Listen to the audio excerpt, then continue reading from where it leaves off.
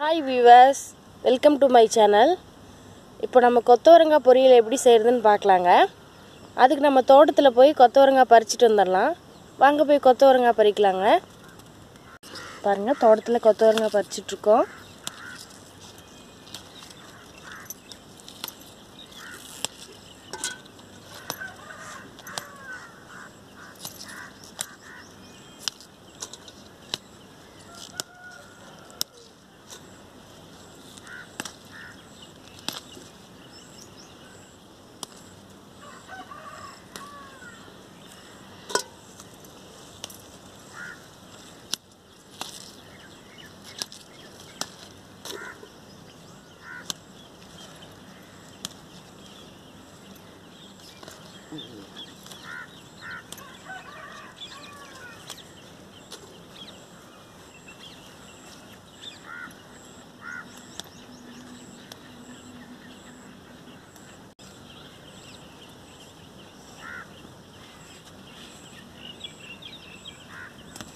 Viewers கொத்தவரங்காய் பறிச்சாச்சு.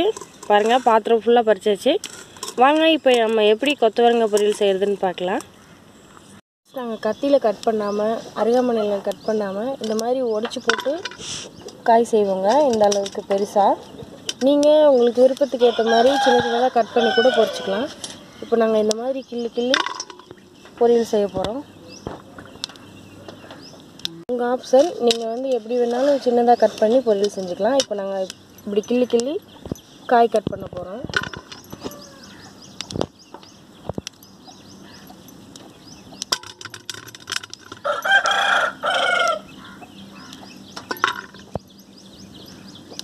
பாருங்கள் இந்த மாதிரி கிள்ளி வச்சுக்கணுங்க.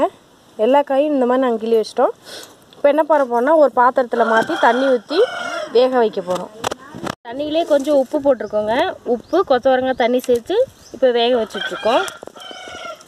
பாருங்க, காய் நல்லா வெந்துருச்சு. இப்போ தண்ணியை ஈர்த்துட்டு நம்ம தாளிக்கலாங்க. கொத்தவரங்காய் இப்போ தாளிச்சிக்கலாங்க. அதுக்கு தேவையான பொருட்கள் கருவேப்பிலை அஞ்சு பச்சை மிளகாய் கட் பண்ணி வச்சுருக்கேன். கொஞ்சம் சின்ன வெங்காயம் எடுத்து வச்சுருக்கேங்க. வாங்க போய் தாளிச்சிடலாம். பாருங்கள் எண்ணெய் காஞ்சதும் கடுகு போட்டாச்சு.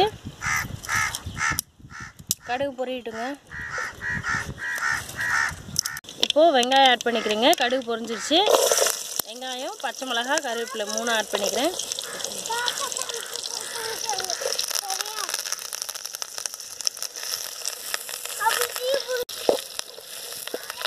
பாருங்க நல்லா வதக்கிக்கணும் நல்லா வதங்கிடுச்சுங்க. இப்போ நான் கொத்தவரங்காய் ஆட் பண்ணுறேன்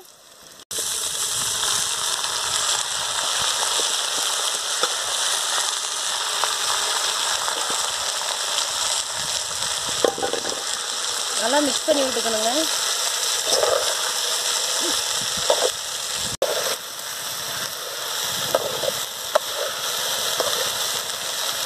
காய் வேகும் போதே கொஞ்சம் நம்ம உப்பு சேர்த்துட்டோங்க. உங்களுக்கு தேவைன்னா கொஞ்சம் உப்பு போட்டுக்கோங்க இந்த ஸ்டேஜில் இப்போ தேங்காய் ஆட் பண்ணிக்கிறேங்க. அவ்வளோதாங்க கொத்தவரங்காய் பொரியல் ரெடி ஆயிடுச்சு. நல்லா மிக்ஸ் பண்ணி விட்டுக்கணும்